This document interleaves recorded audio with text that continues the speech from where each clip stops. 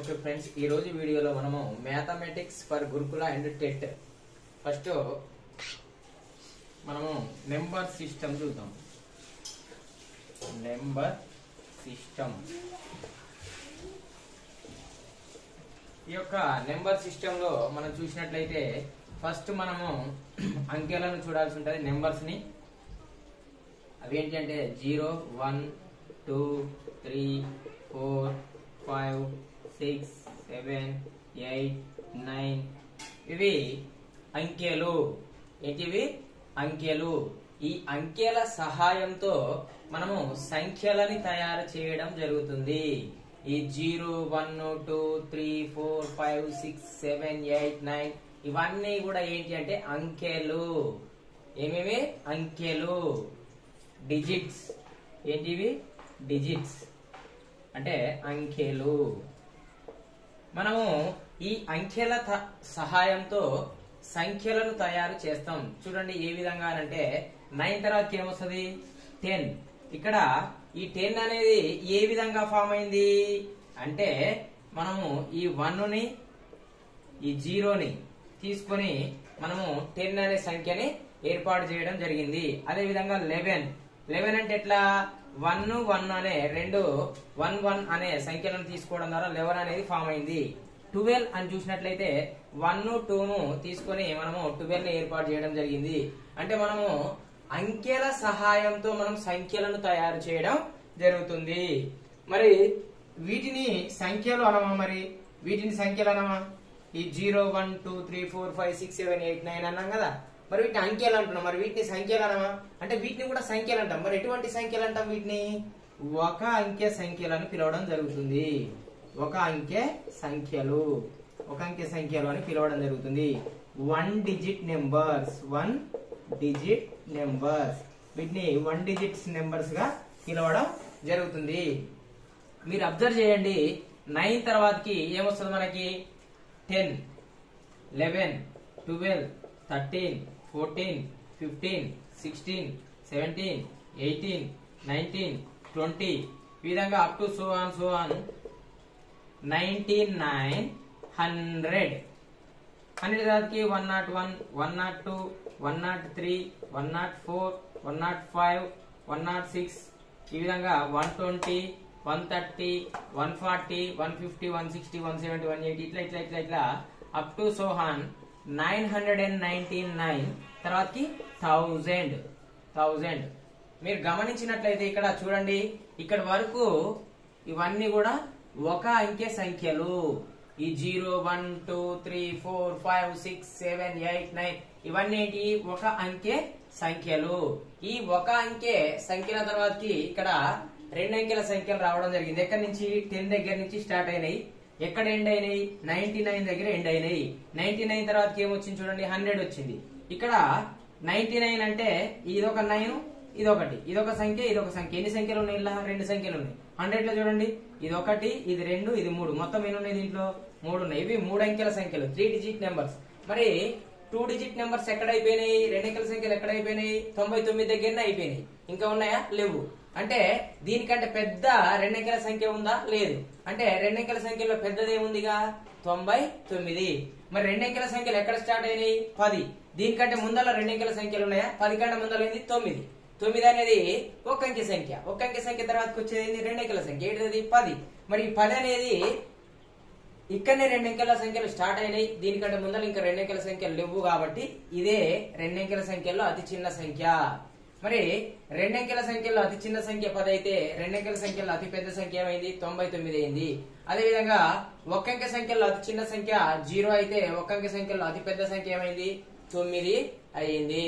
అంటే మీరు ఇక్కడ గమనించండి మూడంకెల సంఖ్యలో అతి పెద్ద సంఖ్య అంటే ఏమైంది? తొమ్మిది వందల తొంభై తొమ్మిది అయింది. అంటే మూడు తొమ్మిదిలు అయినాయి. నాలుగంకెల సంఖ్యలో అతి పెద్ద సంఖ్య ఏమైతుంది? నాలుగు తొమ్మిదిలు అయితే ఐదు అంకెల సంఖ్యలో అతి పెద్ద సంఖ్య ఏమైతుంది? ఐదు తొమ్మిదిలు అయితే ఆరు అంకెల సంఖ్యలో అతి పెద్ద సంఖ్య ఏమైతుంది? ఆరు తొమ్మిదిలు అయితే. ఇక్కడ అతి పెద్ద సంఖ్య అని అంటే అక్కడ మనం తొమ్మిదిని గుర్తుంచుకోవాలి. ఎన్ని సంఖ్యలలో అతి పెద్ద సంఖ్య అంటే అన్ని తొమ్మిదిలు అనేది రావడం జరుగుతుంది. ఇక్కడ మీకు చెప్తా చూడండి. మీరు ఈజీగా ఐడెంటిఫై చేయడానికి మీరు ఇక్కడ గమనించవలసి ఉంటుంది. ఒక అంకె సంఖ్యలలో ఒక అంకె సంఖ్యల్లో అతి చిన్న సంఖ్య.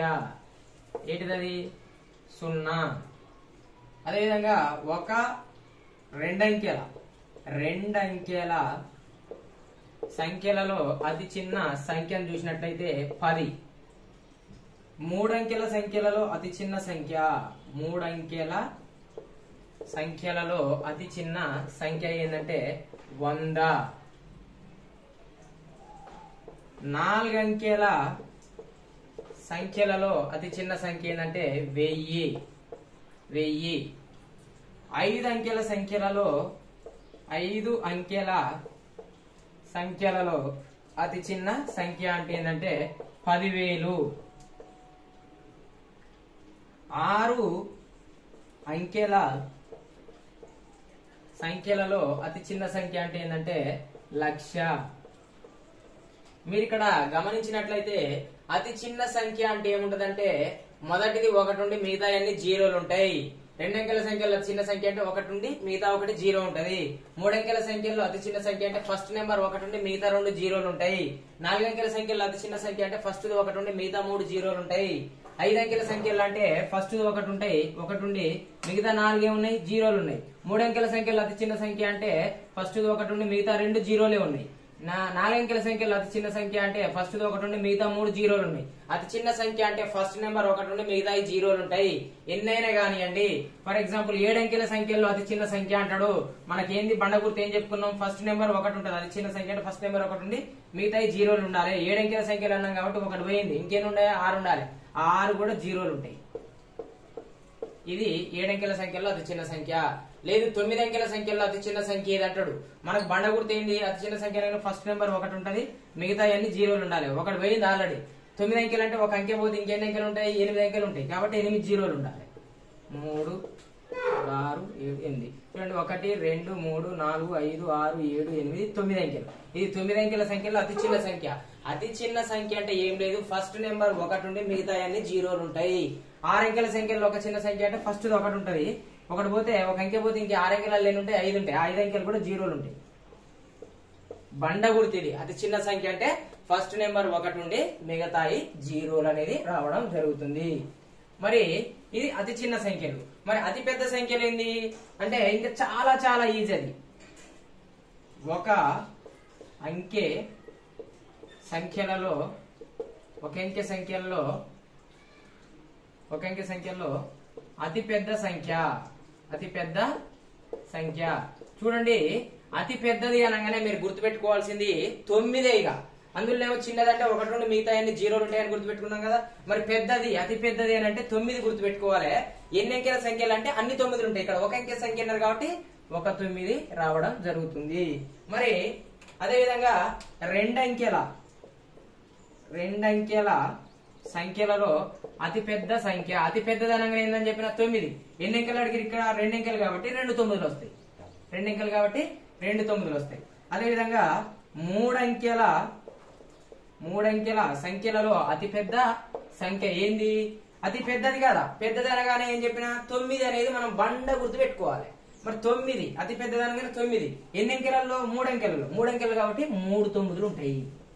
మూడు తొమ్మిదిలో రావడం జరుగుతుంది. మరి నాలుగు అంకెల సంఖ్యల్లో అతిపెద్ద సంఖ్య.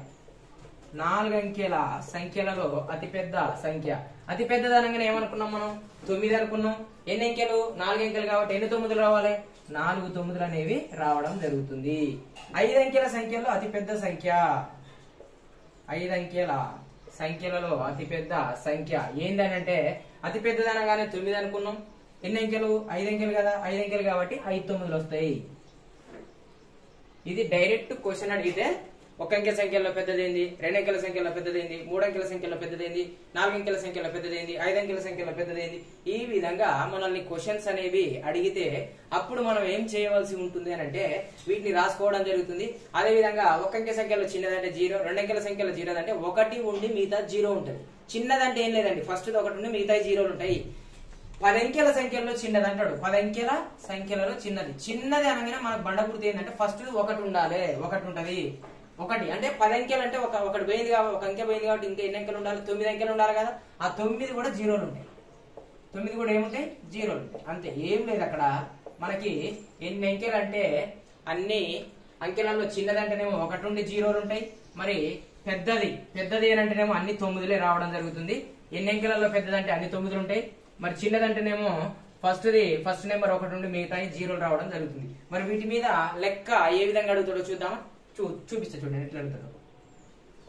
మూడంకెల మూడంకెల సంఖ్యలలో మూడంకెల సంఖ్యలలో అతిపెద్ద సంఖ్య మూడంకెల సంఖ్యలో అతిపెద్ద సంఖ్య మరియు మరియు రెండంకెల రెండంకెల సంఖ్యలలో అతి చిన్న సంఖ్య. మూడంకెల సంఖ్యలో అతి పెద్ద సంఖ్య మరియు రెండంకెల సంఖ్యలో అతి చిన్న సంఖ్య ల మధ్య భేదం ఎంత? భేదం ఎంత? భేదం ఎంత? చూడండి మూడంకెల సంఖ్యలో అతి పెద్ద సంఖ్య కట రెండంకెల సంఖ్యల్లో అతి చిన్న సంఖ్య కట భేదం ఎంత అని అడుగుతుండు.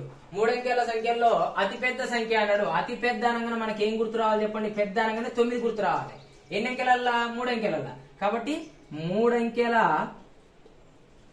మూడంకెల సంఖ్యలలో అతి పెద్ద సంఖ్య మూడంకెల సంఖ్యలో అతిపెద్ద సంఖ్య ఎంత అనుకున్నాం? మూడు తొమ్మిదిలు ఇంకోటి ఏమన్నాడు? రెండంకెల సంఖ్యలో అతి చిన్న సంఖ్య. రెండంకెల సంఖ్యలో అతి చిన్న సంఖ్య అంటే అతి చిన్నదంటే ఏం చెప్పి నేను? ఫస్ట్ అంకె ఒకటి ఉండి మిగతా జీరో ఉండాలి. అంటే రెండంకెల సంఖ్యల్లో రెండంకెల సంఖ్యలలో అతి చిన్న సంఖ్య అతి చిన్న సంఖ్య. ఫస్ట్ ఏమి ఉండాలన్నా చిన్నదనగానే ఒకటి ఉండాలి. మిగతాది ఏం ఉండాలి? జీరో ఉండాలి. అంటే ఎంతది? పది. ఇప్పుడు భేదం అన్నాడు. ఇక్కడ చూడండి రా చూడు సారీ ఫ్రెండ్స్ ఇక్కడ చూడండి. భేదం వ్యత్యాసం ఎంత ఎక్కువ ఎంత తక్కువ ఎంత మిగిలింది? ఇవన్నీ కూడా మనకి ఏంటంటే అది క్లూ వర్డ్స్ దేనికి? మనకు తీసివేతకు. ఇక్కడ భేదం అన్నాడు కాబట్టి తీసివేయాలి. ఇక తొమ్మిది నుంచి జీరో పోతే జీరో తొమ్మిది నుంచి ఒకటి పోతే ఎనిమిది తొమ్మిదికి తొమ్మిది. అంటే ఎంత వచ్చింది? తొమ్మిది వందల ఎనభై వచ్చింది. అంటే మూడంకెల సంఖ్యల్లో అతి పెద్ద సంఖ్య మరియు రెండంకెల సంఖ్యల్లో అతి చిన్న సంఖ్యల మధ్య భేదం ఎంత అన్నాడు. అంటే ఫస్ట్ ఇది ఈ లెక్క అనేది చాలా చిన్నదే. ఈ లెక్క అనేది చాలా చిన్నది భేదం అనేది. కానీ ఇక్కడ ఏం జరుగుతుంది? అతి పెద్ద సంఖ్య అతి చిన్న సంఖ్య తెలవాలి మనకు. అతి పెద్ద అనగానే అన్ని తొమ్మిదిలు ఉంటాయి. ఎన్ని అంకెలలో అన్నారు? మూడు అంకెలలో అన్నారు కాబట్టి మూడు తొమ్మిదిలు ఉంటాయి. మరి చిన్నది అనగానే ఫస్ట్ ది ఒకటి ఉండి మిగతా జీరో ఉంటది.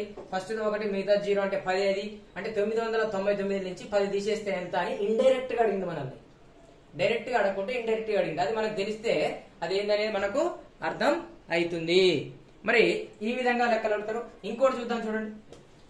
ఇట్లా ఇట్లా ఇంకో లెక్క చూద్దాం చూడండి.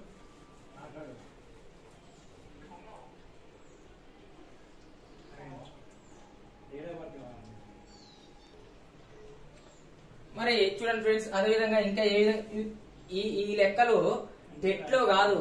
మా డిఎస్సి లో కూడా అడిగిండు అన్నట్టు ఈ విధంగా. మనకేంది? ఇంత చిన్నవి వస్తాయా లేకపోతే మనం చేసే మిస్టేక్ ఏంటంటే ప్రిపేర్ అయితే ఓ అతి పెద్ద ప్రాబ్లమ్స్ చేసి ప్రిపేర్ అవుతాం ఏముంది చిన్నయ్య కదా ఇవి అడుగుతారా అని వీటిని నెగ్లెక్ట్ చేస్తాం. ఒక్కొక్కసారి ఇలాంటి చిన్నయ్య మనకి జాబ్ పోయే కాడికి తీసుకొస్తుంటది. కాబట్టి మనకు గురుకులాలలో సీట్ రావాలన్నా అదేవిధంగా టెట్ ఎగ్జామ్లో కూడా ఇవి మనకు పనికి రావడం జరుగుతుంది కాబట్టి అంతా కలిపి చెప్తున్నా అన్నట్టు. ఇప్పుడు ఇంకోటి చూసినట్లయితే మనకి ఇక్కడ ఏమడుగుతారంటే నాలుగంకెల సంఖ్యలలో నాలుగంకెల సంఖ్యలో అతి చిన్న అతి చిన్న సంఖ్యకు నాలుగంకెల సంఖ్యల్లో అతి చిన్న సంఖ్యకు మరియు మరియు మూడంకెల సంఖ్యలలో మూడంకెల సంఖ్యలలో అతి పెద్ద సంఖ్యకు అతి పెద్ద సంఖ్యకు మధ్య భేదం ఎంత? భేదం ఎంత? నాలుగంకెల సంఖ్యలో అతి చిన్న సంఖ్యకు మరియు మూడంకెల సంఖ్యలో అతి పెద్ద సంఖ్యకు భేదం ఎంత? అంటే ఫస్ట్ మనం నాలుగంకెల సంఖ్యలో అతి చిన్న సంఖ్య ఏందో రాసుకోవాలి. నాలుగంకెల సంఖ్యలలో అతి చిన్న సంఖ్య అతి చిన్న సంఖ్య. చూడండి ఈ ప్రాబ్లమ్స్ కానిస్టేబుల్లో టెట్లా మా ఇదే ప్రాబ్లం ఇలాంటి ప్రాబ్లం మాకు డిఎస్సిలో వచ్చింది. ఎస్జిటి ఎస్జిటి రెండు వేల పన్నెండులో మీరు ఆ పేపర్ని ఒకసారి చూసినట్లయితే ఇలాంటి ప్రాబ్లం మాకు వచ్చింది డిఎస్సిలో టెట్లో కూడా కదా. అంటే మీరు మనం చదివే విధానం ఎట్లా ఉండాలంటే ఇది చాలా ఈజీ కదా ఇది చేస్తే ఎట్లా? మనం చాలా టఫ్ చేసుకుంటూ పోవాలి. టఫ్ చేసినప్పుడు ఈజీ మర్చిపోయాం అనుకో మనం చేసేది ఏం లేదు. అంటే మనం ఈజీ టు హార్డ్ వెళ్ళాలి. ఎట్లా వెళ్ళాలి ఈజీ టు హార్డ్ ఈజీ చేసుకుంటేనే హార్డ్ కాడికి పోవాలి మనం. ఏదో పెద్ద పై స్థాయిలో ఇస్తారు కింది స్థాయిలో ఇవ్వాలని మనం ఏ దాన్ని కూడా నెగ్లెక్ట్ చేయొద్దు. మనం చేసే నెగ్లిజెన్సీ ఒక్క మార్క్ దగ్గర కూడా మనకు జాబ్ అనేది దూరం చేస్తుంది సీట్ అనేది దూరం చేస్తుంది. కాబట్టి మనం అన్నింటిని దృష్టిలో పెట్టుకొని మనం చదువుకోవాలి. నాలుగంకెల సంఖ్యలో అతి చిన్న సంఖ్య. అతి చిన్న సంఖ్య అంటే ఏమని చెప్పి చెప్పండి? ఫస్ట్ నెంబర్ ఒకటి ఉండి మిగతా ఈ మూడు జీరోలు ఉండాలి. అంటే నాలుగంకెలు అన్నారు కాబట్టి ఫస్ట్ నెంబర్ ఒకటి ఉంటుంది మిగతా మూడు జీరోలు ఉంటాయి. అంటే వెయ్యి. నాలుగంకెల సంఖ్యలో అతి చిన్న సంఖ్య ఎంత? వెయ్యి. మరి ఇంకేం అడిగిండు? మూడు అంకెల సంఖ్యలో అతిపెద్ద సంఖ్య. మూడు అంకెల సంఖ్యలలో మూడు అంకెల సంఖ్యల్లో అతిపెద్ద సంఖ్య. అతిపెద్ద సంఖ్య. మూడంకెల సంఖ్యలో అతిపెద్ద సంఖ్య. మరి మూడంకెల సంఖ్యలో అతిపెద్ద సంఖ్య అన్నాడు నేను ఒక బండ గుర్తు చెప్పిన. ఏం చెప్పినా? అతి పెద్దదంటే మనకి ఎమ్మటే అవన్నీ తొమ్మిది అని గుర్తు రావాలి. ఎన్ని అంకెలు ఇక్కడ? మూడంకెలు కాబట్టి మూడు తొమ్మిదిలు. ఇవి రాసుకున్నాక ఏం చేయమన్నాడు చెప్పండి? భేదం అన్నాడు. భేదము వ్యత్యాసము ఎంత ఎక్కువ ఎంత తక్కువ ఎంత మిగిలింది ఇంకా ఎంత కావాలి ఇవన్నీ కూడా తీసివేతలే మనకి. ఇక్కడ జీరో నుంచి నైన్ పోతుందా? పోదు. ఇక్కడ మనం బారో తీసుకుంటాం. ఇక్కడ తొమ్మిది తొమ్మిది పది. చూడండి ఫ్రెండ్స్ ఇక్కడ మనకు టీచర్లు చేసే మిస్టేక్ ఏంటంటే డైరెక్ట్ దీంట్లో నుంచి ఇది పోదు కాబట్టి దశకం తీసుకోవాలి. ఇక్కడ ఇక్కడ నుంచి ఇక్కడ మనం తీసుకోవడానికి లేదు కాబట్టి ఇక్కడ నుంచి దశకం తీసుకుంటాం. ఇక్కడ తొమ్మిది తొమ్మిది వస్తుంది ఇక్కడ పది వస్తుంది అని చెప్తారు. మనం కూడా గట్లనే నేర్చుకుంటాం. ఇక్కడికి తొమ్మిది ఎందుకు వచ్చింది? ఇక్కడికి తొమ్మిది ఎందుకు వచ్చింది? ఇక్కడికి పది ఎందుకు వచ్చింది? మనకు తెలవాలి కదా అసలు? అసలు ఏంది? దశకం అనే మ్యాటర్ ఏంది? బారో తీసుకోవడం అంటే ఏంది? ఎందుకు తీసుకుంటున్నాం? మరి ఇక్కడ తొమ్మిది ఏంది? ఇక్కడికి పది ఏంది? ఎందుకు వస్తుంది? అనేది మాత్రం మనకు అంటే అక్కడ మిస్టేక్ సాలదని కాదు కానీ వాళ్ళంటే చెప్పుకుంటూ వెళ్ళిపోతారు. మనం అట్లే ఎన్నుకుంటూ వెళ్ళిపోతాం. దశకం అనగానే పది వస్తుంది. అక్కడ జీరోలు ఉన్నప్పుడు తొమ్మిది తొమ్మిది పది వస్తుంది. ఇట్లనే నేర్చుకుంటాం ఇక.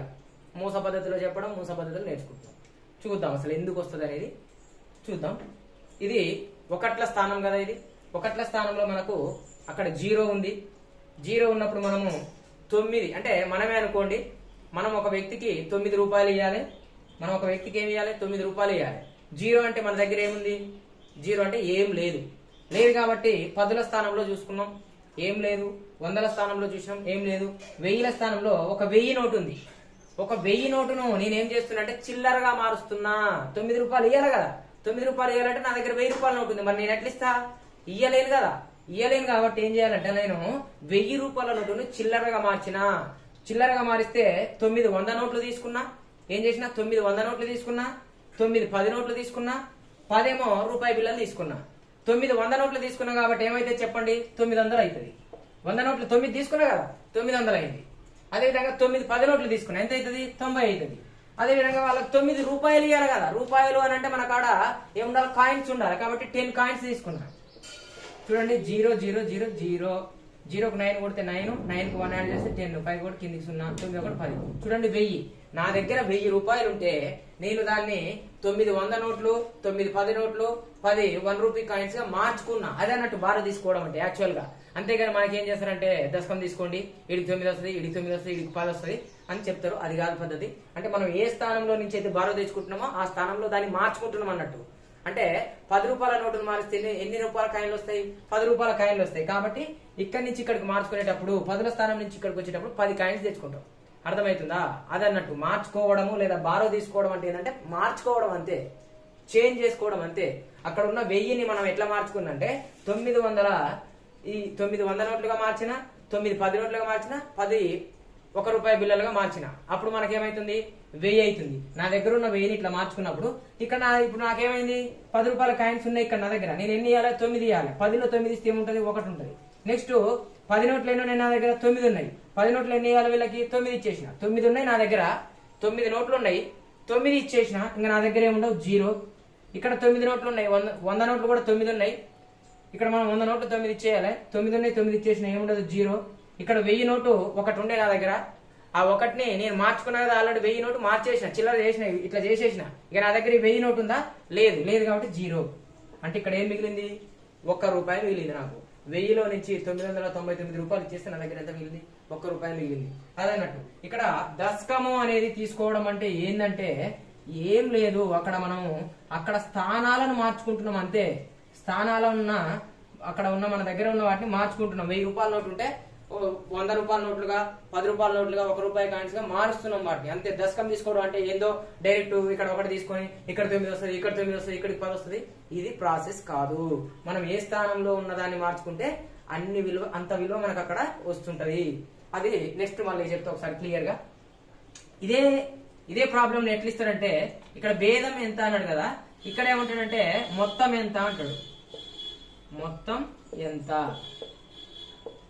చూడండి నాలుగంకెల సంఖ్యలో అతి చిన్న సంఖ్యకు మరియు మూడంకెల సంఖ్యలో అతి పెద్ద సంఖ్యకు మధ్య మధ్య అనేది ఉండదు. అతి పెద్ద సంఖ్యల మొత్తం ఎంత? నాలుగంకెల సంఖ్యలో అతి చిన్న సంఖ్య మరియు మూడంకెల సంఖ్యలో అతి పెద్ద సంఖ్యల మొత్తం ఎంత అని అడుగుతాడు. మొత్తం అంటే ఏందో తెలవాలి మనకి. మొత్తం అంటే కూడడం అండి. మరి ఇక్కడ మొత్తం అన్నారు కాబట్టి కూడాలే. సున్నాకు తొమ్మిది కొడితే తొమ్మిది. సున్నాకు తొమ్మిది కొడితే తొమ్మిది సున్నాకు తొమ్మిది కొడితే తొమ్మిది ఒకటికి ఒకటి. అంటే ఒక వెయ్యి తొమ్మిది వందల తొంభై తొమ్మిది అనేది రావడం జరుగుతుంది. ఈ విధంగా మనకు లెక్కలు ఇవ్వడం జరుగుతుంది వీటి మీద. మనం నేర్చుకునేది నెంబర్ సిస్టమ్ కదా. మరి అదే విధంగా చూసినట్లయితే ఇక్కడ మనకు నేను దశకం అని చెప్పిన కదా ఒకసారి ఎక్స్ప్లెయిన్ చేస్తాను. చూడండి ఇక్కడ. ఇరవై నాలుగు పంతొమ్మిది. ఇరవై నాలుగు పంతొమ్మిది ఇది తీసివేత. ఇక్కడ మనకు ఒకట్ల స్థానంలో నాలుగు అనేది ఉంది. మనం ఒకట్ల స్థానంలో తొమ్మిది ఇవ్వాలి వాళ్ళకి. ఇవి పైన ఉన్నాయి మన దగ్గర ఉన్నాయి అనుకోండి కింద ఉన్నాయి వాళ్ళకి ఇచ్చేయి. నా దగ్గర నాలుగు రూపాయి కాయిన్లు ఉన్నాయి కానీ నేను వాళ్ళకి తొమ్మిది రూపాయి కాయిన్లు ఇవ్వాలి ఇవ్వలేస్తానా ఇవ్వలేను అప్పుడు నా దగ్గర ఇంకేం పైసలు ఉన్నాయి? పది నోట్లు ఉన్నాయి. పది నోట్లని ఒక నోటు మార్చుకుంటే పది రూపాయి బిల్లలు వస్తాయి కదా. ఇక ఒక నోటు మార్చుకున్న పది రూపాయి బిల్లలు వచ్చినాయి నా కాడికి. అంటే పదిలలో ఒక నోటు మార్చిన పది రూపాయి బిల్లలు వచ్చినాయి. ఈ పది రూపాయి బిల్లలు నీ దగ్గర ఉన్న నాలుగు రూపాయి బిల్లలు ఎంత అయినాయి పద్నాలుగు అయినాయి. ఇప్పుడు నీ దగ్గర ఎన్ని రూపాయి బిల్లలు ఉన్నాయి? పద్నాలుగు ఉన్నాయి. ఈ పద్నాలుగు రూపాయి బిల్లల నుంచి తొమ్మిది రూపాయి బిల్లలు వాళ్ళకి ఇచ్చేస్తాం కదా. ఇచ్చేసినాక మన దగ్గర ఎంత ఉంటాయి? ఐదు ఉంటాయి. ఇక ఇక్కడ పదులు ఎన్ని ఉన్నాయి నీ దగ్గర? రెండు పదులు ఉన్నాయి. ఆల్రెడీ ఒక పదుని చేంజ్ చేసేసినావు. ఇంకా ఒక పది ఉంది. ఆ ఒక పదిలో నుంచి ఎన్ని పది వేయాలి మనం? ఒక పది ఇవ్వాలి ఒక పదిలో నుంచి ఒక పది ఇచ్చేస్తే ఇక మనకు అక్కడ ఉండదు. జీరో. ఈ విధంగా అన్నట్టు. ఇక దశకం తీసుకున్నాం కదా ఒకటి పోద్ది అంటాం. ఎందుకు పోతుంది ఒకటి? ఒకటి పోద్ది అంతే. ఎందుకు పోతుంది అంటే మన కాళ్ళు చెప్పరు మనం అడగం. ఒకటి పోవడం అంటే ఏం లేదు. అక్కడ ఉన్న దాంట్లో ఒకదాన్ని మనం ఆల్రెడీ చిల్లరగా మార్చేస్తున్నాం. ఇక్కడ ఉన్న పదులు రెండు పదులు ఉన్నాయి. ఒక పది మనం ఇక్కడ చిల్లర మార్చినాం. ఒకటి మార్చడానికి ఇక నీ దగ్గర రెండు ఉంటాయి మళ్ళా? ఒక్కటే ఉంటది. కాబట్టి ఆ ఒక దాంట్లో నుంచి మనం ఏం చేయాలా? ఒకటి ఇచ్చేసినాం. ఇచ్చేస్తే మన దగ్గర ఏం కాదు ఇది దశకం తీసుకోవడం అన్నట్టు. అదేవిధంగా ఏదైనా అంతే. ఏదైనా అంతే. ఏ స్థానంలో ఉన్న దాన్నైనా మార్చుకోవడం అంతే. ఇక్కడ మరి ఇంకా ఏ విధమైన లెక్కలు మనల్ని నెంబర్ సిస్టమ్ నుంచి అడగడం జరుగుతుంది అంటే నేనొక నేనొక మూడంకెల సంఖ్యను ఈజీ టు హార్డ్ వెళ్తుండండి వచ్చినైనా కూడా కొంచెం ఓపికగా వినండి అంతే. నేను ఒక మూడంకెల సంఖ్యను నేను ఒక మూడంకెల సంఖ్యను నా యొక్క నా యొక్క ఒకట్ల స్థానంలో నా యొక్క ఒకట్ల స్థానంలో ఐదు నా యొక్క ఒకట్ల స్థానంలో ఐదు పదుల స్థానంలో పదుల స్థానంలో సున్నా పదుల స్థానంలో సున్నా మరియు మరియు వందల స్థానంలో వందల స్థానంలో ఒకటి ఒకటి ఉన్నాయి ఒకటి ఉన్నాయి. అయినా నేనెవరిని? అయినా నేనెవరిని? నేనెవరిని? ఇవి చాలా ఈజీ ఇవి చాలా ఈజీ అది ఎప్పుడు మనకు తెలిస్తే అంటే నాన్ మ్యాథ్స్ వాళ్ళు ఉంటారు. ఈ ప్రిపేర్ అయ్యేటప్పుడు నాన్ మ్యాథ్స్ వాళ్ళు కూడా ఉంటారు. మరి అందరు ఉంటారు కాబట్టి కొంచెం ఓపిక వినాలి.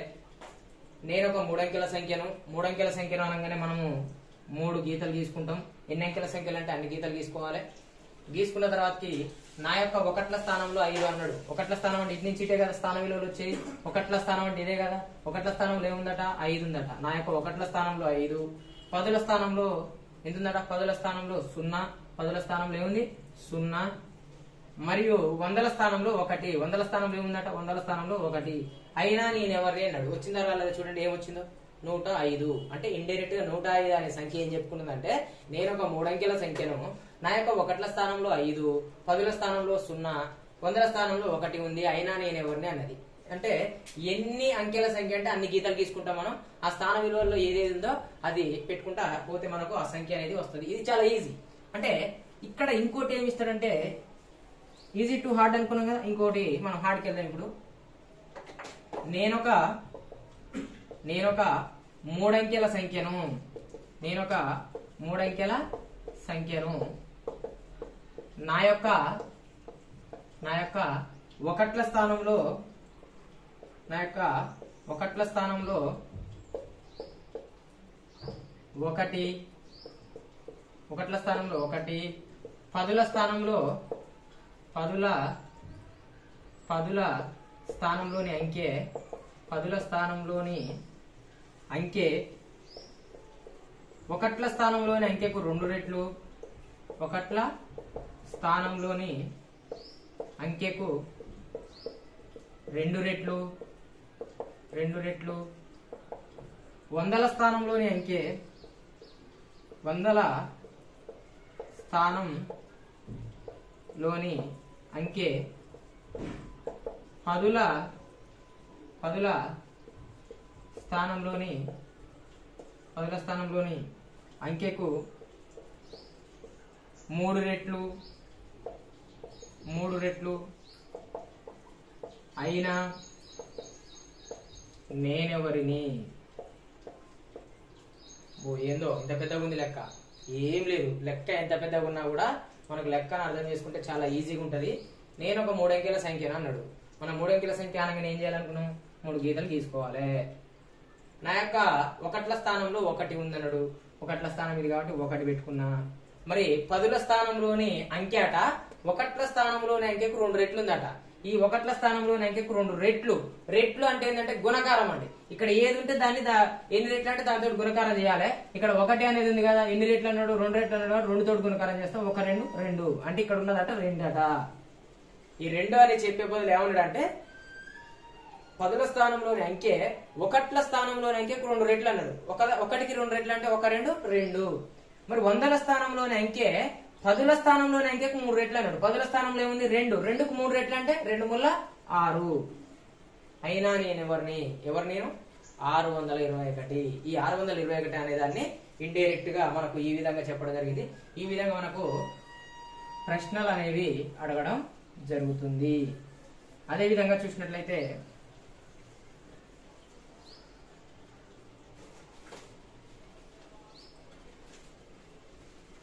నెక్స్ట్ వచ్చేసి అంకెలను మొత్తం కింది స్థాయి నుంచి చెప్పుకుంటూ వెళ్తున్నా. అన్ని మీరు జాగ్రత్తగా గమనించండి. అంకెలను అక్షరాలలో రాయడం. అక్షరాలలో రాయడం. మనకు అంకెలు ఇస్తారు. ఆ అంకెలను ఏం చేయాలంటే అక్షరాలలో రాయాలి. ఇప్పుడు మూడు వందల నలభై తొమ్మిది అని ఇచ్చారు. దీన్ని మనం ఏం చేయాలి? అక్షరాలలో రాయాలి. ఎట్లా? మూడు వందల మూడు వందల నలభై తొమ్మిది మూడు వందల నలభై తొమ్మిది. ఈ విధంగా మనకు అంకెలు ఇస్తే వాటిని అక్షరాలలో రాయాలి. మరి ఇది ఇచ్చిండు దీన్ని మనం అక్షరాలలో రాయాలి. ఒకట్లు పదులు వందలు వేలు. వేల కాడ ఏముంది? ఒకటి ఉంది. ఒక వెయ్యి. వందల కాడ ఉంది ఏం లేదు కాబట్టి చదవము ఒక వెయ్యి. పదుల కాడే ఉంది నాలుగు ఉంది. నాలుగు పదుల నలభై. ఒక వెయ్యి నలభై. ఒకట్ల కాడ ఉంది తొమ్మిది. తొమ్మిది ఒకట్ల తొమ్మిది. ఒక వెయ్యి నలభై తొమ్మిది. ఒక వెయ్యి నలభై తొమ్మిది. ఈ విధంగా మనం ఏం చేస్తామంటే అంకెలను అక్షరాలలో రాస్తున్నాం.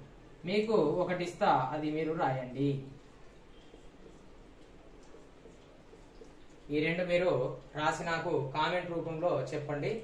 ఇదొకటి ఇదొకటి. ఇది ఒకటి ఈ- రెండు అంకెలను అక్షరాలలో ఏమంటారు రాయండి. దీనికాడ ఏ పెడుతున్నా ఏ అని పెట్టి దాన్ని రాయండి. దీని దగ్గర బి పెట్టినా బి అని పెట్టి దాని ఆన్సర్ మీరు కామెంట్ రూపంలో కామెంట్ చేయండి.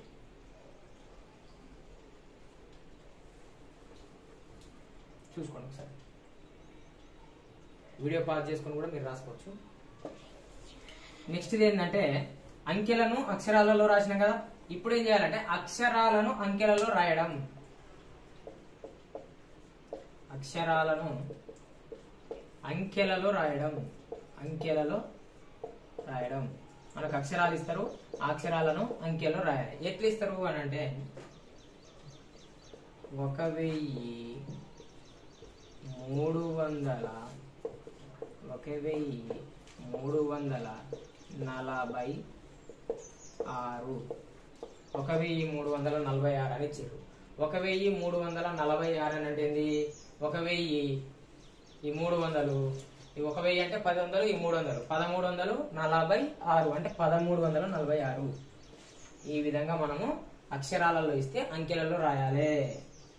ఆరు వేల ఆరు వేల ఆరు అన్నాడు. ఆరు వేల ఆరు అన్నాడు. వేలు ఆరు వేలు అంటే వేల స్థానం కాడ ఎంత ఉండాలి? ఒకట్లు పదులు వందలు వేలు. వేల స్థానం కాడ ఎంత ఉండాలి? ఆరు వేలు అన్నాడు కాబట్టి ఆరు అనేది ఉండాలి. మరి వందల స్థానం ఇక్కడ మనకు ఉందా? ఆరు వేల మూడు వందలు నాలుగు వందలు అని ఇచ్చిందా? లేదు. వందల స్థానం లేదు కాబట్టి జీరో. పదుల స్థానం ఇచ్చిందా? ఇరవై ముప్పై నలభై యాభై ఏమైనా కనపడుతుంది? ఇలా లేదు కాబట్టి జీరో. ఒకట స్థానంలో ఆరు ఉంది కాబట్టి ఆరు. ఆరు వేల ఆరు. ఈ విధంగా మనం రాసుకోవడం జరుగుతుంది. మరి అదే విధంగా నేను ఒకటి రాస్తాను. మీరు ఏ అనుకొని దాన్ని కామెంట్ రూపంలో కామెంట్ చేయండి. ఇది రెండో బిట్ అనుకోండి. రెండో బిట్లో ఏ అని కామెంట్ చేయండి నాకు ఏంటంటే పదకొండు వందల పన్నెండు. పదకొండు వందల పన్నెండు అనే దాన్ని నాకు అంకెల రూపంలో రాసి చూపించండి. ఇది ఏ? ఇది అక్షరాలను అంకెల్లో రాయడం. ఇంతకుముందుకు ఇది అంకెలను అక్షరాలలో రాయడం.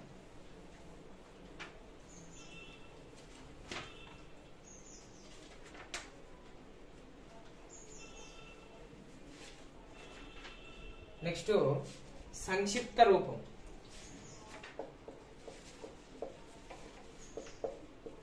సంక్షిప్త రూపం. సంక్షిప్తంగా రాయాలి. సంక్షిప్త రూపం. మూడు వందల నలభై ఏడు. మూడు వందల నలభై ఏడు. చూడండి మూడు వందల నలభై ఏడు కదా? ఆల్రెడీ సంక్షిప్త రూపంలో ఇచ్చిండు. అంటే మూడు వందల నలభై ఏడు అనేది ఆల్రెడీ సంక్షిప్త రూపంలో ఉంది. మరి విస్తరణ రూపంలో ఇస్తే మనం దాని సంక్షిప్త రూపంలో రాయాలి. ఎట్లా ఇస్తాడు విస్తరణ రూపం అంటే? మూడు వందలు ప్లస్ నలభై ప్లస్ ఏడు. ఇది విస్తరించి రాసిండు. ఈ విస్తరణ రూపాన్ని మనం ఎట్లా రాయాలి? సంక్షిప్త రూపంగా రాయాలి. సంక్షిప్తం అంటే ఏంది? కలిపి రాయాలి. మూడు వందలు ప్లస్ నలభై మూడు వందల నలభై మూడు వందల నలభై ప్లస్ ఏడు మూడు వందల నలభై ఏడు. ఈ విధంగా సంక్షిప్త రూపంలో రాయాలి. ఇక్కడ ఏమిస్తాడు వెయ్యి ప్లస్ సున్నా ప్లస్ మూడు. ఇది విస్తరణ రూపం. ఈ విస్తరణ రూపంలో ఇచ్చి మనం ఏమంటాడు? సంక్షిప్త రూపంలో రాయమంటాడు. వెయ్యి ప్లస్ సున్నా. వెయ్యికి సున్నా కలిపితే వెయ్యి. వెయ్యికి మూడు కలిపితే మూడు. వెయ్యి మూడు. వెయ్యి మూడు.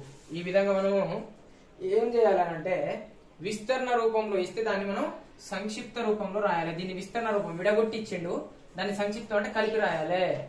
మరి ఇప్పుడు ఏం చేద్దాం? ఇప్పుడు ఏం చేద్దాం చూడండి. సంక్షిప్త రూపం అంటే ఏందో తెలిసింది కదా? విస్తరణ రూపం. విస్తరణ రూపంలో రాయడం. విస్తరణ రూపంలో రాయడం. మరి విస్తరణ రూపం అంటే ఏంటంటే విడగొట్టి రాయాలి. చాలా ఈజీ కానీ ఆ పదాలు మనకు తెలియాలి ఒక్కోసారి కన్ఫ్యూజ్ అవుతాం. సంక్షిప్త అంటే ఏంది? విస్తరణ అంటే ఏంది? విస్తరణ విస్తరించుకుంటూ పోవడం విడగొట్టుకుంటూ పోవడం సంక్షిప్తం కలుపుకుంటూ పోవడం గంత ఏం లేదు అక్కడ. అంటే చాలా ఈజీ కాకపోతే ఏమైందంటే ఆ పదాలు అనేవి మనకు కొద్ది కన్ఫ్యూజన్ చేస్తాయి. సంక్షిప్త అంటే ఏంది? విస్తరణ అంటే కన్ఫ్యూజ్ చేస్తుంది అంటే విస్తరణ రూపం అంటే ఏంటంటే మనకు పదమూడు వందల నలభై ఐదు అని ఇచ్చిండు. దీన్ని ఏం చేయాలి? విస్తరించి రాయాలి. ఒకట్లు పదులు వందలు వేలు. వేల కాడ ఎంత ఉంది ఒకటి ఉంది. అంటే ఒక వెయ్యి. ప్లస్ ఒకట్లు పదులు వందలు. వందల కాడ ఎంత ఉంది మూడు. మూడు వందలు.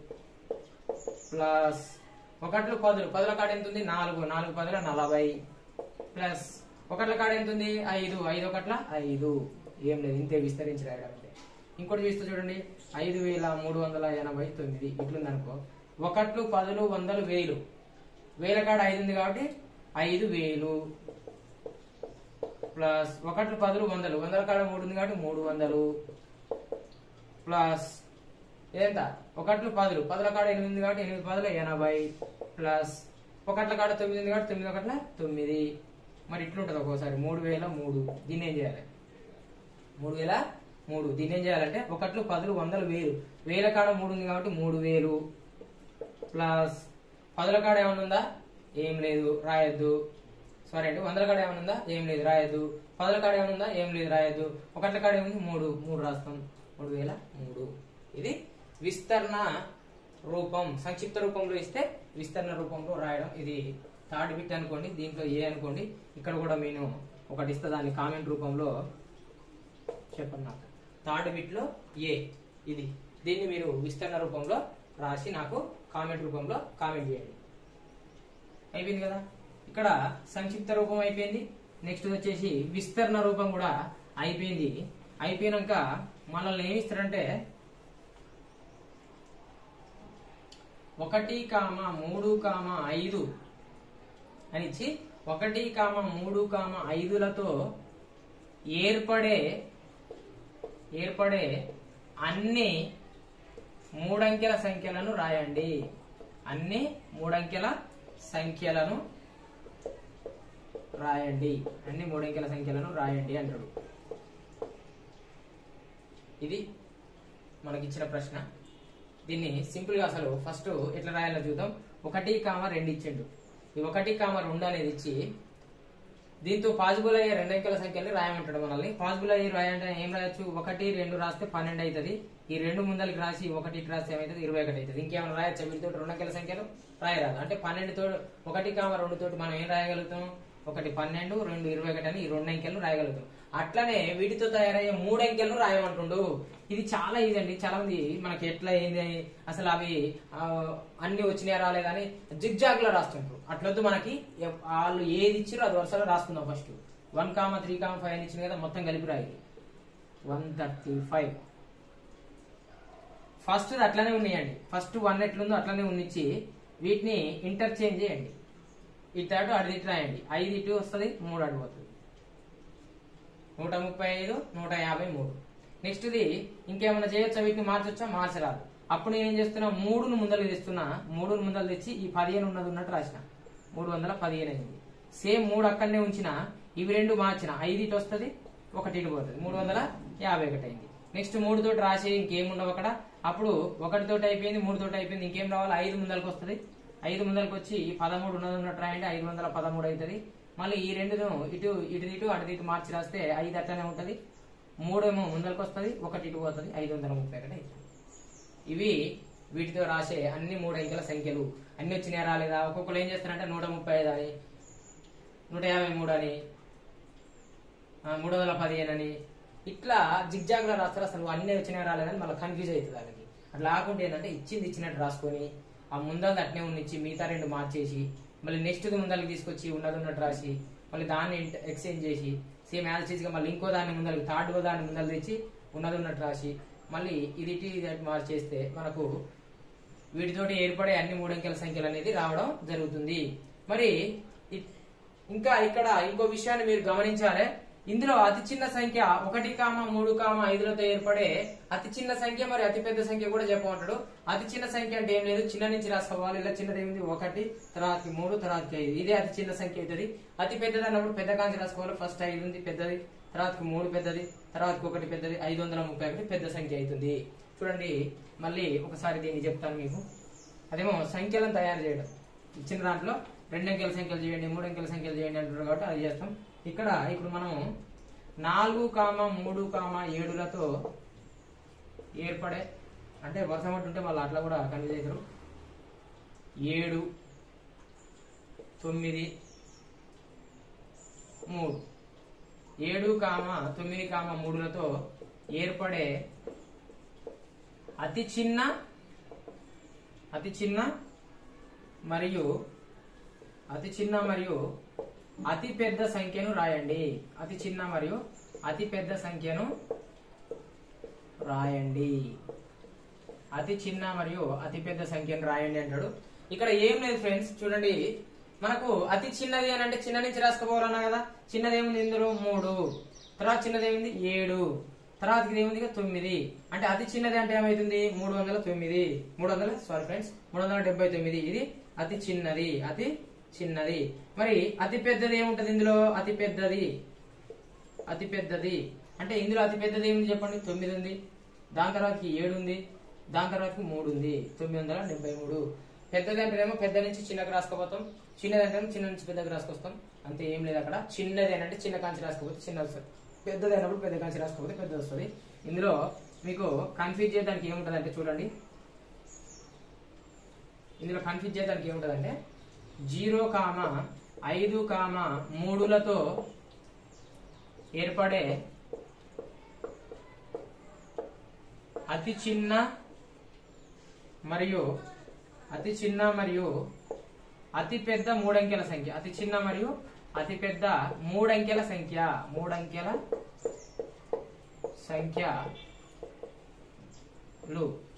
అతి చిన్న మరియు అతి పెద్ద మూడంకెల సంఖ్యలు అన్నాడు అది చిన్నది రాయాలి మనం అది చిన్నది రాయాలంటే ఇందాక ఏమనుకున్నాం చిన్న కాంచి పెద్ద అనుకున్నాం. చిన్నది ఏముంది ఇందులో? జీరో ఉంది. తర్వాత చిన్నది ఏముంది? మూడు ఉంది. తర్వాత ఇది ఏముంది? ఐదు ఉంది. మరి ఇది అనుకుంటాం మనం. ఇక్కడ చూసినట్లయితే జీరో ముందర ఉంటుంది కౌంట్ ఉండదు కాబట్టి ఏమైతుంది? అది జీరో ముందర రాయడం వల్ల ముప్పై ఐదు అవుతుంది. ఏమైతుంది ఇది? ముప్పై ఐదు. ముప్పై ఐదు అంటే ఎన్ని అంకెలు ఉన్నట్టు ఇందులో? రెండు అంకెలే ఉన్నట్టు. అప్పుడు మనము రాంగ్ అవుతుంది. ఇట్లా ఇచ్చి మిమ్మల్ని కన్ఫ్యూజ్ చేస్తాడు. టెట్లో కానీ ఇంకెక్కడైనా గురుకులలో కానీ ఇట్లా ఇచ్చి మిమ్మల్ని కన్ఫ్యూజ్ చేయడానికి అవకాశం ఉంటుంది. మరి అప్పుడు ఎట్లా అంటే జీరో తర్వాతకి ఏదైతే చిన్నది ఉందో అది రాసుకోవాలి. జీరో తర్వాతకి ఇంకా చిన్నది ఏముంది మూడు ఉంది మూడు రాసుకొని అప్పుడు జీరో రాసుకోవాలి తర్వాతకి ఇది మూడు వందల ఐదు ఇది అతి చిన్నది అవుతుంది ఇది అతి చిన్నది. వాటితో ఏర్పడే అతి చిన్న మూడంకెల సంఖ్య అవుతుంది మరి అతి పెద్ద మూడంకెల సంఖ్య ఇప్పుడు వీటితో ఏర్పడే అతి పెద్ద మూడంకెల సంఖ్య ఏమవుతుంది అంటే పెద్దది అంటే ఏం చెప్పి నేను? పెద్ద కాంచి రాసుకోవాలి. ఇలా పెద్దది ఏముంది ఐదు. తర్వాత పెద్దది మూడు. తర్వాతకి సున్నా. ఐదు వందల ముప్పై ఐదు వందల ముప్పై అనేది పెద్దది అవుతుంది మూడు వందల ఐదు అనేది చిన్నది కావడం జరుగుతుంది.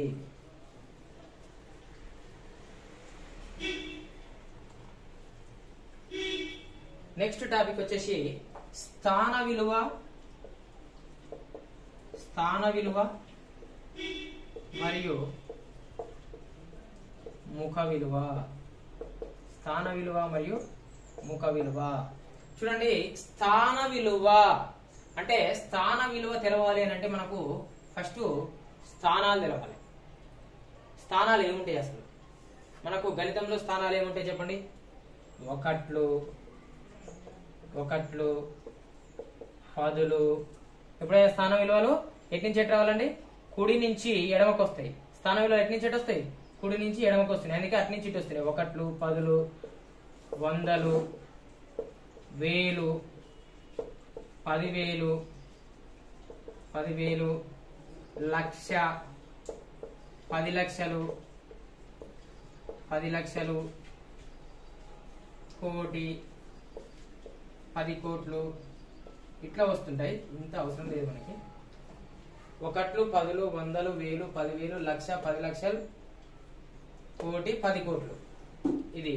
అయితే ఇవి స్థాన విలువలు స్థానాలు. ఆ స్థానాలను బట్టి ఉండే విలువనే స్థాన విలువ అంటారు. ఫర్ ఎగ్జాంపుల్ ఐదు వందల మూడు. ఇట్లా ఇచ్చిండు. దీంట్లో ఐదు యొక్క స్థాన విలువ ఎంత అంటాడు? అన్నప్పుడు ఏం చేయాలంటే అసలు ఐదు అనేది ఏ స్థానంలో ఉందో తెలవాలి మనం. ఆ దాని ప్రకారంగా కౌంట్ చేసుకోండి. ఒకట్లు పదులు వందలు. ఏ స్థానంలో ఉంది? వందల స్థానంలో ఉంది కాబట్టి వంద అని రాసుకోవాలి. ఆ వందల స్థానంలో ఏం అంకె ఉంది? ఐదు ఉంది. ఐదు ఉంది కాబట్టి ఐదు వంద ఐదుల ఐదు వందలు. అంటే ఐదు యొక్క స్థాన విలువ ఎంత అంటే ఏమైంది? ఐదు వందలు అయింది. అంటే స్థాన విలువ అంటే ఏం చేయాలంటే అది ఏ స్థానంలో ఉందో రాసుకోవాలి. ఇంటూ అది ఏ సంఖ్య ఏ అంకె రాసుకోవాలి. ఫర్ ఎగ్జాంపుల్ చూడండి ఆరు వందల ఎనభై మూడు అని ఇచ్చిండు. దీంట్లో ఎనిమిది కింద చేసి అండర్లైన్ చేసి ఎనిమిది యొక్క స్థాన విలువ ఎంత అన్నాడు. ఇది ఏ స్థానంలో ఉందో చూద్దాం. ఒకట్లు పదులు. పదుల కాడు ఉంది కాబట్టి పది అని రాసుకుంటాం. ఇంటూ ఏమంకేది ఎనిమిది. పదింబుల ఎనభై. దీని యొక్క స్థాన విలువ ఎంత? ఎనభై. అంటే స్థాన విలువ అంటే ఏం చేయాలంటే అది ఏ స్థానంలో ఉందో అది వేయాలి. పదుల స్థానంలో ఉందంటే పది వేసినాం. ఇందాక వందల స్థానంలో ఉందంటే వంద వేసినాం. ఒకట్ల స్థానంలో ఉందంటే ఒకటే వేసుకుంటాం ఏ స్థానంలో ఉందో అది వేసుకుని ఇంటూ అది ఏ అంకే ఎనిమిది కాబట్టి ఎనిమిది పదింబుల ఎనభై. అదే విధంగా చెప్తా చూడండి.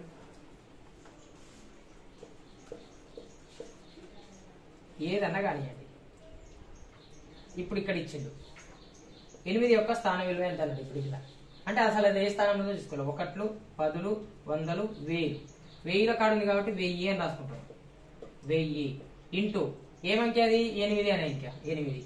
వెయ్యి ఇంటూ ఎనిమిది అంటే ఎనిమిది వేలు. వెయ్యి ఎనిమిదిల? ఎనిమిది వేలు. అంటే దాని యొక్క స్థాన విలువ ఎంత? ఎనిమిది వేలు. ఇందాక ఎనిమిది యొక్క స్థాన విలువ ఎంత అయింది మరి? ఎనిమిది యొక్క స్థాన విలువ ఎంత అయింది? ఎనభై అయింది ఇప్పుడు ఎంత? ఎనిమిది వేలు అయింది అంటే స్థాన విలువలు మారుతూ ఉంటాయి. ఒక్క తీరు ఉండవు. స్థాన విలువలు అనేది అది ఉన్న స్థానాన్ని బట్టి మారుతూ ఉంటాయి. స్థాన విలువలు అది ఉన్న స్థానాన్ని బట్టి మారుతూ ఉంటాయి. చూడండి మరి అదే విధంగా దీంట్లో సున్నా యొక్క స్థాన విలువ ఎంత అన్నాడు?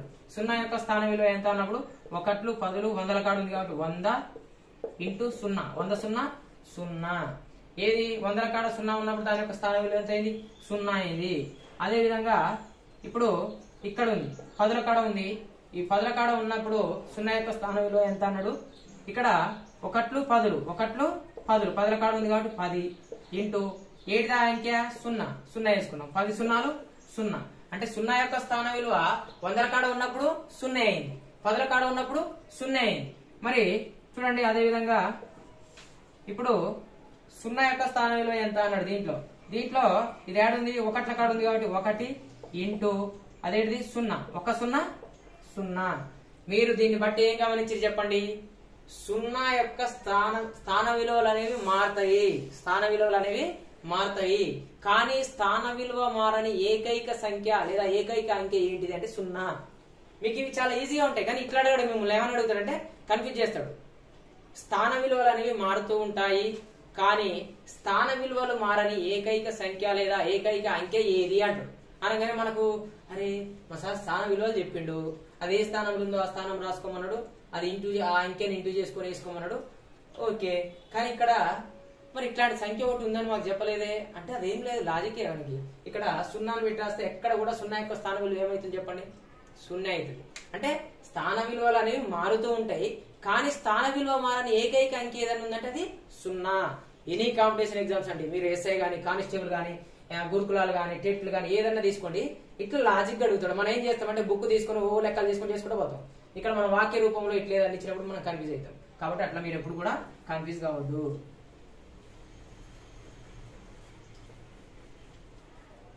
మరి ఓకే. స్థాన విలువ అంటే మనం తెలుసుకునే ఇప్పుడు స్థాన విలువ అంటే ఏంది? స్థానాన్ని బట్టి వచ్చే విలువ స్థాన విలువ. స్థానాన్ని బట్టి వచ్చే విలువ స్థాన విలువ. అది ఏ స్థానంలో ఉంటే దాని స్థాన విలువ దాన్ని బట్టి డిసైడ్ అవుతుంది. ఇప్పుడు ఫర్ ఎగ్జాంపుల్ నేనున్నా నేను ఇక్కడ ఏమైతున్నానంటే నేను ఇక్కడ టీచ్ చేస్తున్నా కాబట్టి ఇప్పుడు టీచర్ని నేను ఇక్కడ టీచ్ చేస్తున్నా కాబట్టి టీచర్ని అవుతా అంటే ఇక్కడ ఉన్న స్థానాన్ని బట్టి నేను టీచర్ని. మా ఇంట్లో ఉన్నప్పుడు మా ఇంట్లో ఉన్నప్పుడు మా తమ్మునికి మా తమ్మునికి నేనేమైతా? మా తమ్మునికి మా తమ్మునికి నేనేమైతా? అన్న అయితా మా తమ్మునికి నేనేమైతా? అన్న అయితా అదేవిధంగా మా అమ్మకు నేనేమైతా? మా అమ్మకు నేనేమైతా? కొడుకు అయితా కొడుకు అయితా అదేవిధంగా మా మా అక్కకు నేనేమైతా? మా అక్కకు. మా అక్కకు నేనేమైతా? మా అక్కకు నేనేమైతా? ఏమైతే చెప్పండి? తమ్ముడైతా. తమ్ముడైతా. ఒకవేళ ఇప్పుడు మా పిల్లలు అనుకో మా పిల్లలకు నేనేమైతా? నాన్న అంటే ఈ విధంగా చూసినట్లయితే నేనే మనిషిని కానీ స్థానాన్ని బట్టి ఇక్కడ టీచర్ అయినా స్థానాన్ని బట్టి ఇక్కడ అన్ననైనా ఇక్కడ స్థానాన్ని బట్టి కొడుకునైనా ఇక్కడ స్థానాన్ని బట్టి తమ్ముడైనా ఇక్కడ స్థానాన్ని బట్టి నానైనా ఒక స్థానంలో భర్త అవుతాం ఒక స్థానంలో బావ అవుతాం ఒక స్థానంలో బామ్మడిదైనా స్థానాన్ని బట్టి నా యొక్క విలువ అనేది మారుతుంది. ఇది స్థాన విలువ. అంటే స్థానాన్ని బట్టి విలువ అనేది మారుతుంది. ఖచ్చితంగా మారుతుంది. కానీ ముఖ విలువ కానీ ముఖ విలువ ముఖ విలువ అంటే పేరని గుర్తుపెట్టుకోండి. ముఖ విలువ ముఖ విలువ. ముఖానికి ఉండే విలువ అసలు డైరెక్ట్గా పేరు అని గుర్తుపెట్టుకుంటే అయిపోతుంది. ఆ కన్ఫ్యూజన్ కూడా ఉండదు ఇంకా. పేరు మారుతుంది ఎప్పుడన్నా నా పేరు కర్ణాకరం.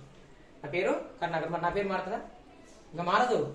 మా అమ్మ పిలవాలన్నా కరుణాకర్ పిలవాలి. నా పేరు పెట్టి పిలవాలంటే. మా తమ్ముడు పిలవాలన్నా కర్ణాకరాన్ని పిలవాలి. నా పేరు పెట్టి పిలవాలంటే. పేరు పెట్టి పిలవాలన్నప్పుడు ఎవ్వరు పిలవాలన్నా కరుణాకర్ ఒకటి అంటే నా యొక్క బంధాన్ని బట్టి పిలవాలన్నప్పుడు నా యొక్క స్థానాన్ని బట్టి పిలవాలన్నప్పుడు అన్న తమ్ముడు అంటే ఈ విధంగా మారిన స్థానాన్ని బట్టి మారిన.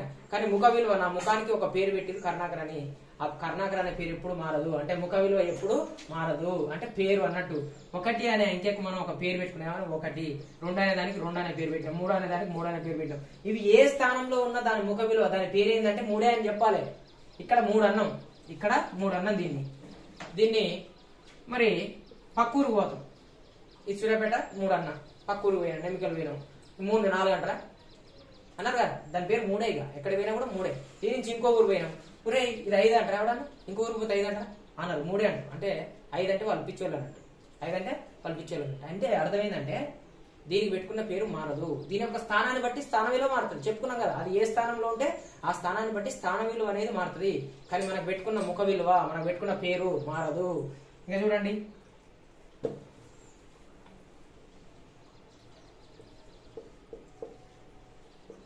మూడు కింద గీత గీసిండు. ఇచ్చిన సంఖ్యలో దీని యొక్క ముఖ విలువ గీత గీసిన సంఖ్య అంకె యొక్క ముఖ విలువ ఎంత అన్నాడు? ముఖ విలువ అంటే ఇది పేరు. దీని పేరు ఏం పేరు? మూడు. కాబట్టి దీని ముఖ విలువ ఎంత? మూడు. మరి స్థాన విలువ అన్నప్పుడు మారుతుంది మళ్ళీ. ఒకట్లు పదులు వందలు. వందల కాడు ఉంది కాబట్టి వంద ఇంటూ మూడు కాబట్టి మూడు. వంద ముళ్ళ మూడు వందలు స్థాన విలువ అన్నప్పుడు చూడండి మూడు వందలు అయింది. కానీ ముఖ విలువ అన్నప్పుడు మూడే ఉంది. చూద్దాం చూడండి. ముఖ విలువ అన్నప్పుడు ఇక్కడ ఉన్నప్పుడు మూడే ఉంది. మరి దీన్నే ఇట్లా రాసినాం. ఇక్కడ మూడు కింద అండర్లో ఏం చేసిన పదుల స్థానంలో ఉన్నప్పుడు కూడా మూడు యొక్క ముఖ విలువ ఎంత ఉంటుంది? పేరు ఎక్కడున్న పేరు మారదని చెప్పిన కదా. ఇక్కడ ఉన్నా కూడా దీని పేరు మూడే. కాబట్టి అదే విధంగా ఇంకోటి చూడండి. ఒకట్ల స్థానంలో ఇచ్చి అండర్లైన్ చేసిండు. ఇచ్చి దీని యొక్క గీత గీసిన అంకె యొక్క ముఖ విలువ ఎంత అన్నాడు? మూడు. ఇదేంది ఇది? మూడు. మరి దీని ముఖ విలువ దీనికి పేరు ఏం పెట్టుకున్నాం?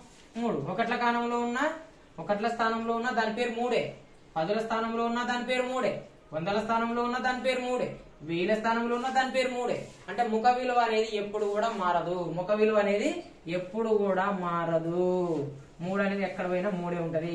మరి వీటి మీద మనకి ఎట్లా ఇస్తారు లెక్కలు? చూద్దాం ఒక లెక్క రాసుకొని చూద్దాం. మూడు వేల ఐదు వందల మూడు వేల ఐదు వందల ఇరవై నాలుగు. మూడు వేల ఐదు వందల ఇరవై నాలుగు ఇచ్చిండు. ఇచ్చి మూడు మూడు యొక్క ముఖ విలువకు మూడు యొక్క ముఖ విలువకు మరియు మూడు యొక్క ముఖ విలువకు మరియు స్థాన విలువకు స్థాన విలువకు మధ్య భేదం ఎంత? భేదం ఎంత? మూడు యొక్క ముఖ విలువకు స్థాన విలువకు మధ్య భేదం ఎంత? స్థాన విలువ ఎక్కువ ఉంటుంది కాబట్టి ఫస్ట్ స్థాన విలువ రాసుకుందాం. స్థాన విలువ. స్థాన విలువ. స్థాన విలువ అన్నప్పుడు ఏమైనా స్థానాలకే పెట్టుకోవాలి? ఒకట్లు పదులు వందలు వేలు. వేల కాడు ఉంది కాబట్టి వెయ్యి ఇంటూ మూడు కాబట్టి మూడు వెయ్యి ముళ్ళ మూడు వేలు. మూడు వేలు అని స్థాన విలువ వచ్చింది. మరి ముఖ విలువ? ముఖ విలువ అంటే ఏమని చెప్పిన? పేరు. మూడు యొక్క పేరు ఏంది? మూడే. మూడు యొక్క పేరు ఏంటిది? మూడే. మరి ఇప్పుడు ఏం చేస్తాం మనం? ఏం చేయాలంటే మనము భేదం అంటే తీసేయాలి. వ్యత్యాసము భేదము ఇవన్నీ ఏం చేయాలి? తీసేయాలి. వ్యత్యాసము భేదం అన్నప్పుడు మనం ఏం చేయాలంటే తీసివేయాలి. వ్యత్యాసము లేదా భేదం అన్నప్పుడు తీసేయాలి. చూడండి మరి ఒకట్ల స్థానంలో మన దగ్గర సున్నా ఉంది. సున్నా అంటే మన దగ్గర ఏం లేవు. వాళ్ళకి మూడు రూపాయలు ఇవ్వాలి మనం. మూడు ఇవ్వాలన్నప్పుడు మన దగ్గర మరి ఏముంది? ఓన్లీ వెయ్యి నోట్ ఒక్కటే ఉంది. ఆ వెయ్యి నోట్ను మార్చుకుంటున్నా. మార్చుకుంటే ఇక్కడ తొమ్మిది వందలు ఇక్కడ తొంభై ఇక్కడ పది వచ్చింది. పది ఇట్ల నుంచి మూడు పోతే ఎంత? ఏడు. తొమ్మిది నుంచి ఇచ్చేది ఏం లేదు కాబట్టి తొమ్మిది. మళ్ళీ తొమ్మిది నుంచి ఇచ్చేది ఏం లేదు కాబట్టి తొమ్మిది. ఇక్కడ వెయ్యి నోట్లు మూడు ఉంటే ఒక వెయ్యిని ఆల్రెడీ మార్చేసాం కాబట్టి ఇక రెండు వెయ్యి నోట్లే ఉంటాయి రెండు. రెండు వేల తొమ్మిది వందల తొంభై ఏడు. ఈ విధంగా ఇస్తాడు మనకి. మూడు యొక్క ముఖ విలువ మరియు స్థాన విలువల మధ్య భేదం ఎంత? మూడు యొక్క ముఖ విలువ మరియు స్థాన విలువల మధ్య భేదం ఎంత? మొత్తం ఎంత? ఇతనే ఇస్తాడు లెక్కలన్నీ. అప్పుడు మనం ముఖ విలువ రాసుకోవాలి స్థాన విలువ రాసుకోవాలి భేదం అంటేనేమో తీసివేయాలి మొత్తం అని అంటేనేమో కూడుకోవాలి ఈ విధంగా మనకు ముఖ విలువ స్థాన విలువ అనే దాన్ని కూడా మనము దిగ్విజయంగా చర్చించుకోవడం జరిగింది. మరి ఇంకొకటి ఏముంటదంటే ఇక్కడ? ఆరోహణ. అవరోహణ. ఆరోహణ అవరోహణ. ఆరోహణ అవరోహణ. చాలా చాలా కనిపించేస్తాయి ఆరోహణ అవరోహణ అని నేర్చుకుంటాం. కానీ చాలా చాలా కనిపించేస్తుంది. ఎంత కనిపించేస్తుంది అంటే అంత కనిపించేస్తుంది. ఆరోహణ అంటే చిన్న నుంచి పెద్ద పెద్ద నుంచి చిన్న. చిన్న నుంచి పెద్ద పెద్ద నుంచి చిన్న. ఈ విధంగా మనల్ని కన్ఫ్యూజన్ గురి చేస్తాయి అప్పుడు మరి మనం ఏం చేయాలి? లాజిక్ గుర్తు పెట్టుకోవాలి ఆ ఆ ఆ ఆ ఆ అనేటోడు వీళ్ళిద్దరు పిల్లలు. ఆ అనే ఇద్దరు పిల్లలు. ఒక ఒక తల్లికి పుట్టిన పిల్లలు. మనం ఆ రాసుకుంటే పోతే ఏం చేస్తాం? ఆ ఆ అని రాస్తాం కదా? ఫస్ట్ పుట్టినోడు ఎవడు? ఆ. రెండో పుట్టినోడు ఎవడు ఆ. ఫస్ట్ పుట్టినోడు పెద్దోడు కదా? పెద్ద. సెకండ్ పుట్టినోడు చిన్నోడు కదా? చిన్న. రెండో అంటే చిన్నది కదా? చిన్న. అంటే చిన్న నుంచి రాసుకోవాలి. చిన్న నుంచి పెద్దకి. ఆరోహణ అంటే చిన్న నుంచి పెద్దకి. చిన్న నుంచి పెద్దకి. మరి అవరోహణ ఆ అంటే ఏంది? పెద్ద. పెద్ద కదా? పెద్ద నుంచి? పెద్ద నుంచి. పెద్ద నుంచి చిన్నకి పెద్ద నుంచి చిన్నకి. చిన్న నుంచి పెద్దకి పెద్ద నుంచి చిన్నకి. ఎట్లా గుర్తుపెట్టుకోవాలి? ఆ ఆ. ఆ అనేది ఆ అనే ఇద్దరు రెండు కూడా ఒక తల్లి పుట్టిన పిల్లలైతే మనం ఆ రాసేటప్పుడు ఫస్ట్ ఆ రాస్తాం కదా? ఆ అంటే పెద్దది కదా? కాబట్టి అవరోహణ అని ఎట్లా రాస్తాం? పెద్ద ఉంటుంది ముందర కాబట్టి పెద్ద నుంచి చిన్నకి. ఆరోహణలో చిన్న ఉంటది కదా? చిన్న నుంచి పెద్దకు అట్లా గుర్తుపెట్టుకోండి. కన్ఫ్యూజన్ అవుతుంది చాలా వరకు. నాకే కన్ఫ్యూజన్. ఆరోహణ అవరోహణ ఆరోహణ అవరోహణ అంటే సడన్గా ఏమంటే మైండ్ స్ట్రైక్ అవుతుంది అరే చిన్న నుంచి పెద్దగా పెద్ద నుంచి చిన్న నుంచి పెద్దగా పెద్ద నుంచి అనేది అర్థం కాదు మనకి. ఎసెండింగ్ ఆరోహణ అంటేనేమో ఎసెండింగ్ ఆర్డర్ అంటారు. ఎసెండింగ్ ఆర్డర్ ఎసెండింగ్ ఆర్డర్ అవరోహణ అంటేనేమో డిసెండింగ్ ఆర్డర్ అవరోహణ అంటే ఏంది? డిసెండింగ్ ఆర్డర్ డిసెండింగ్ అంటేనేమో తగ్గుకుంటూ పోతుంది పెద్ద నుంచి చిన్నకి. ఎసెండింగ్ అంటేనేమో చిన్న నుంచి పెద్దకి.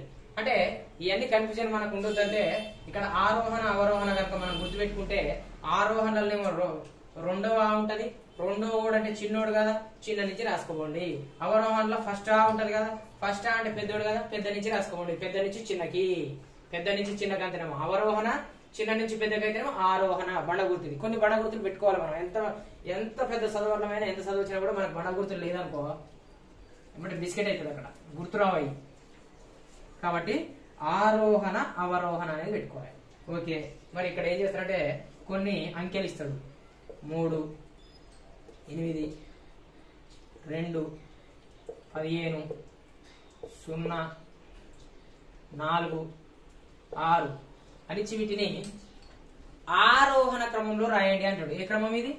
ఆరోహణ క్రమంలో రాయమన్నాడు. ఆరోహణ క్రమంలో రాయండి. ఆరోహణ క్రమంలో రాయండి. ఇక మన కన్ఫ్యూజన్ ఆరోహణ అంటే ఏం వల్ల? ఆరోహణ అంటే ఏం వల్ల అని రాస్తాం. ఫస్ట్ ఆరోహణ అని రాద్దాం. ఆరోహణ అని రాసినాం.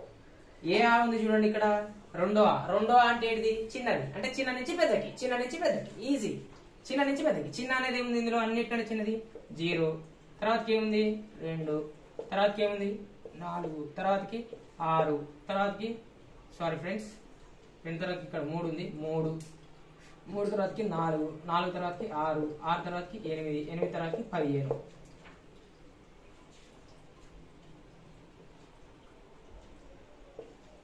Zero comma two comma three comma four comma six comma eight comma fifteen. ఇది ఆరోహణ. ఇక అవరోహణ రాయాలంటే ఏందో తెలుసండి? అవరోహణ. అవరోహణ అంటే ఏమనుకున్నాను చెప్పండి? ఆ అంటే పెద్దది కాబట్టి పెద్ద నుంచి చిన్న కదా? ఆల్రెడీ రాసినాం కదా? చిన్న నుంచి పెద్ద పోయినాయి. ఇయ్య కదా? పెద్ద నుంచి అంటే? పెద్ద నుంచి ఏమున్నాయి చెప్పండి? పదిహేను పెద్దది. ఆ తర్వాతకి ఎనిమిది.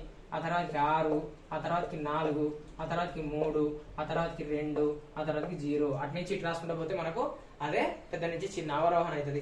ఆరోహణ రాసిన మనకు అవరోహణ ఈజీగా రాయొచ్చు ఇక. పెద్ద నుంచి చిన్న ఆల్రెడీ అటు నుంచి అన్ని పెద్దవి ఉంటాయి చూడండి. పదిహేను ఎనిమిది అంటే పెద్ద నుంచి చిన్నగా పోతుంది. పెద్ద నుంచి చిన్నగా పోతుంది. అటు నుంచి రాసుకోపోతే అయ్యే అయితే ఇంకా ఇక్కడ కన్ఫ్యూజన్ ఏంది? ఆరోహణ అవరోహణ అంటే కన్ఫ్యూజన్ ఏం లేదు. రెండో ఆ అంటే చిన్నది. ఆరోహణ అంటే చిన్న నుంచి పెద్ద. మొదటి ఆ అంటే పెద్దది. అవరోహణ అంటే పెద్ద నుంచి చిన్న. ఏం లేదు కన్ఫ్యూజన్ ఇక్కడ. ఉందా కన్ఫ్యూజన్ లేదు లేదు లేదు. కన్ఫ్యూజన్ ఉందా? లేదు లేదు లేదు. కన్ఫ్యూజన్ ఉందా? లేదు. నెక్స్ట్ మీకు ఇక్కడ ఒక మూడు గుర్తులు నేను ఇంట్రడ్యూస్ చేయాలనుకున్నాను మీకు అందరూ తెలుసు నేను ఇంట్రడ్యూస్ చేసేయలేదు కానీ ఒకసారి చెప్తున్నాను అంతే. Greater than less than is equal to greater than less than is equal to greater than greater than అంటే దానికంటే పెద్దది. ఇచ్చిన రెండింటిలో దానికంటే ఇది పెద్దదని అంటారు. లెస్ దెన్ లెస్ దెన్ అంటే ఇచ్చిన రెండిట్లలో దానికంటే ఇది చిన్నది.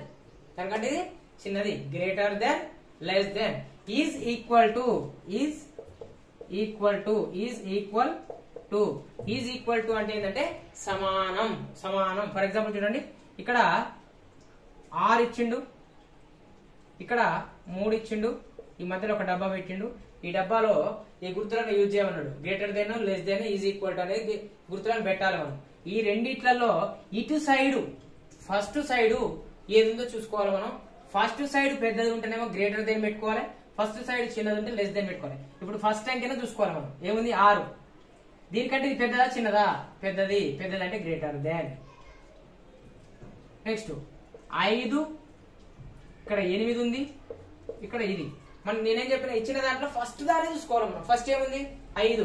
ఐదు అనేది మరి దీనికంటే పెద్దదా చిన్నదా? చిన్నది.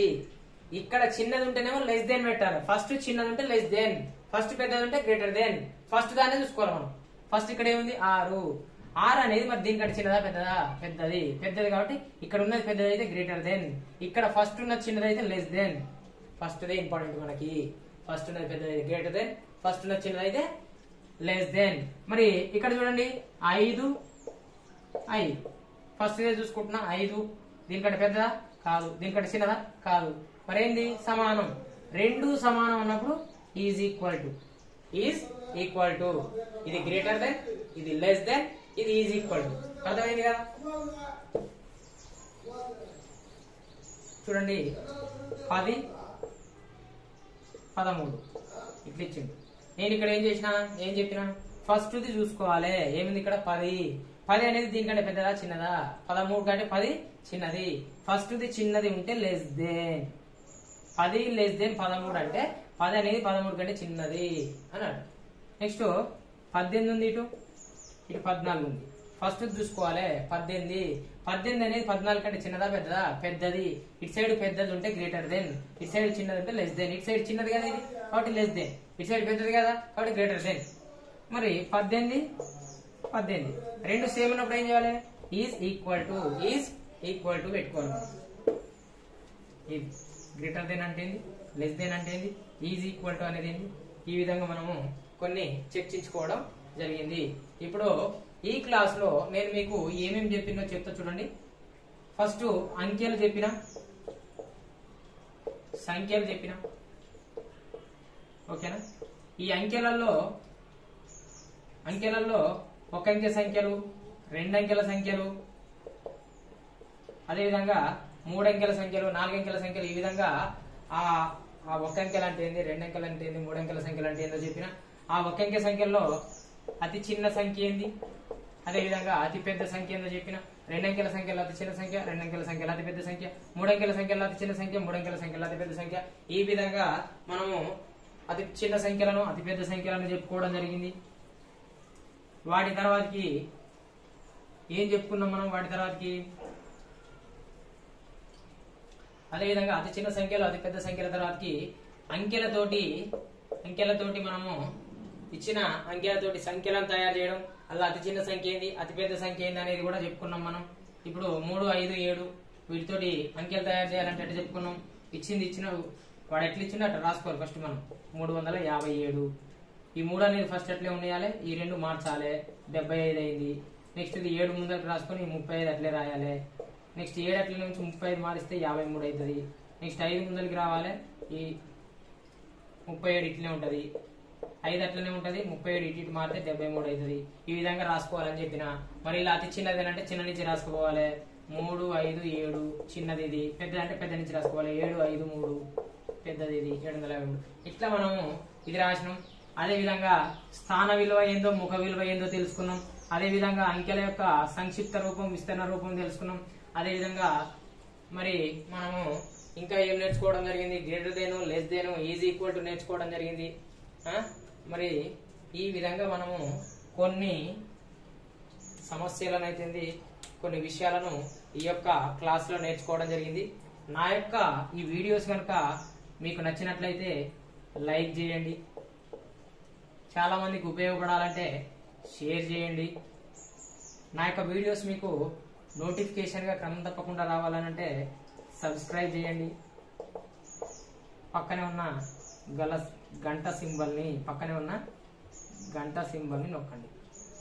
నొక్కితే మీకు నా యొక్క వీడియోస్ మీకు నోటిఫికేషన్ వస్తాయి. ఇది కేవలం కేవలం కోచింగ్ పోని వాళ్ళు ఇంటి దగ్గర ఉండేవాళ్ళు ఎవరైనా గురుకులకు కానీ అదేవిధంగా టెట్కి కానీ గురుకుల ఫోర్త్ నుంచి ఫిఫ్త్ రాసే వాళ్ళకి ఇట్లా ఉంటుంటారు కదా. వాళ్ళకి వాళ్ళకు ఉపయోగపడుతుందనే ఉద్దేశంతో మాత్రమే వీడియోస్ చేయడం జరుగుతుంది. మీరు మీ ఫ్రెండ్స్కి కానీ ఎవరికన్నా ఇలాంటి వీడియోస్ పంపించుకోవాలంటే షేర్ చేయండి. నా వీడియోస్ నచ్చితే లైక్ చేయండి. నా వీడియోస్ కనుక మీకు నోటిఫికేషన్ రావాలంటే సబ్స్క్రైబ్ చేసి పక్కనే ఉన్న బెల్ ఐకాన్ని క్లిక్ చేయండి. నెక్స్ట్ మనము ఇంకా విషయాలను ఇంకా మరికొన్ని విషయాలను మన యొక్క సెకండ్ వీడియోలో నెక్స్ట్ వీడియోలో మనం చర్చించుకుందాం. ఇంకా చాలా విషయాలు ఉన్నాయి.